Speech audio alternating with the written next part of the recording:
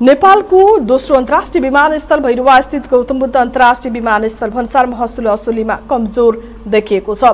एक वर्ष अगाडिबाट सञ्चालनमा आएको यो विमानस्थलबाट नियमित उडान हुन नसक्दा भन्सार महसुल असुलीमा कमजोर देखियो। भन्सार विभागका अनुसार गौतम बुद्ध अन्तर्राष्ट्रिय विमानस्थल भन्सार कार्यालयले चालु आर्थिक वर्ष दुई हजार उनासी अस्सीको चैत महिनासम्मका लागि आठ करोड एकानब्बे लाख चौवन्न हजार रुपियाँ भन्सार राजस्व सङ्कलनको लक्ष्य पाएको थियो।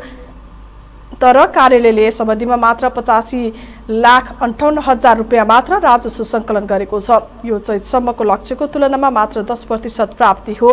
नेपालमा अहिले दुई विमानस्थल त्रिभुवन र गौतम बुद्ध सहित कुल तेत्तिसवटा भन्सार बिन्दुबाट वैदेशिक व्यापार हुने गरेको छ। सोही कारण भन्सार राजस्व सङ्कलन समेत यी नाकाबाट हुने गर्छ। चैतसम्म चार खर्ब नब्बे अर्ब रुपियाँ भन्सार राजस्व सङ्कलनको लक्ष्य भन्सार विभागले राखेको थियो। यस अवधिमा सङ्कलन दुई खर्ब पचासी अर्ब मात्र भएको छ। यो लक्ष्यको अन्ठाउन्न प्रतिशत मात्र हो।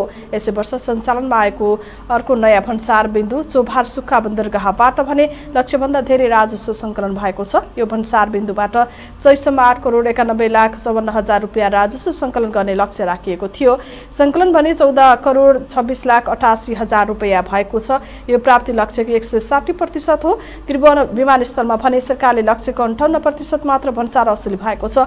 यो बिन्दुबाट चैतसम्म बाइस अर्ब पचास करोड रुपियाँ भन्सार असुलीको लक्ष्य रहेकोमा प्राप्ति भने तेह्र अर्ब उन्नाइस करोड रुपियाँ मात्र भएको छ। सबैभन्दा धेरै राजस्व भने वीरगञ्ज भन्सारबाट उठेको छ। यो भन्सारले चैतसम्म एक अर्ब एकानब्बे एक खर्ब एकानब्बे अर्ब रुपियाँ राजस्वको लक्ष्य राखिएकोमा सङ्कलन एक खर्ब पन्ध्र अर्ब रुपियाँ बराबरको गरेको छ। यो लक्ष्यको साठी प्रतिशत हो।